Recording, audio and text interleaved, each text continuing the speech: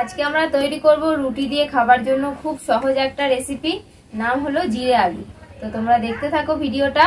আর জিরে আলু বানানোর জন্য এখানে আমি একটা শুকনো মশলা তৈরি করে নেব, একটা শুকনো লঙ্কা নিয়েছি, একটা একটু নিয়েছি জিরে, একটু ধনে, একসাথে ভেজে নেব। তুমি আলুগুলোকে ছাড়িয়ে ফেলো বসে তো বন্ধুরা জিরে আলু বানানোর জন্য লাগবে আমাদের আলু। তো আলুগুলো প্রথমে আমি সেদ্ধ করে নিয়েছি প্রেসার কুকারে, দুটো তিনটে সিটি মেরে। আর এই আলু সিদ্ধটাকে আমি এখন খোসাগুলো ছাড়িয়ে নেব তো মশলাটা ভাজা হয়ে গেছে, তুলে নেব। তুলে আমি বেটে নেব মশলাটা, গুঁড়ো করে নেব। জিরে আলু তৈরি করার জন্য কড়াইতে দিয়ে দেবো একটু সর্ষের তেল। এবার ফোড়নে দিয়ে দেবো একটু গোটা জিরে। আর দিয়ে দেবো একটু হিং, সামান্য পরিমাণ। কাঁচা লঙ্কার কুচে দিয়ে দেবো। কিছু একটু নাড়াচাড়া করে ভেজে নেব। সিদ্ধ করা আলুগুলো আমি এরকম চৌকো টুকরো করে কেটে নিয়েছি এবার দিয়ে দেবো আলুগুলো। আলুগুলো নাড়াচাড়া করে একটু ভাজতে থাকব। এই ভাজা মশলাটা যেটা একটু আগে ভাজা হলো এটা এখন বেটে নিয়ে আসব গুঁড়ো করে নিয়ে আসব। তো শিলে এটা বেটে নিয়ে আসব।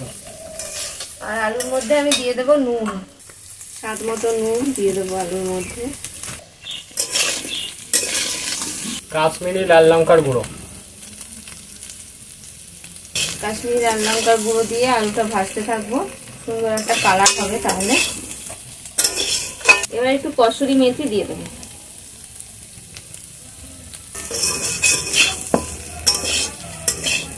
তো বন্ধুরা দেখো চাট মশলা দিয়ে দিচ্ছি আমাদের এই আলু ভাজার মধ্যে।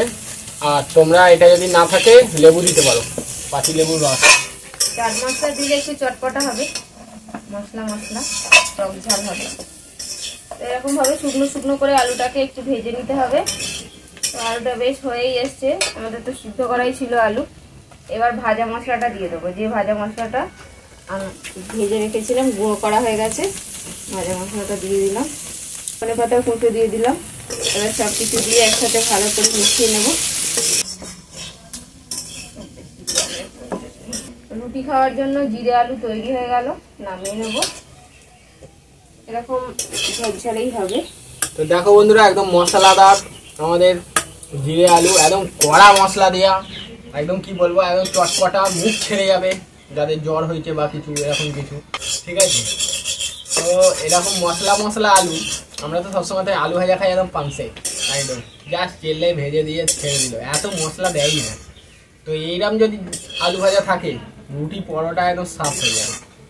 তো বন্ধুরা দেখো আমাদের আলু ভাজা তৈরি হয়ে গেছে।